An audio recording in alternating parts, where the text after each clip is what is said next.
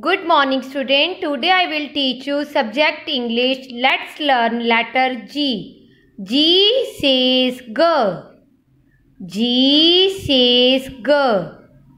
G G grapes. G G got. G G girl. G G giraffe. I repeat again. G. G says G. G G grapes. G G got G G girl. G G giraffe. Honey H her hen H her house.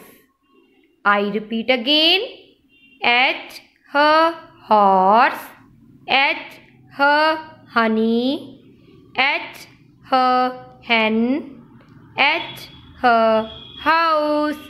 Thank you. Have a nice day.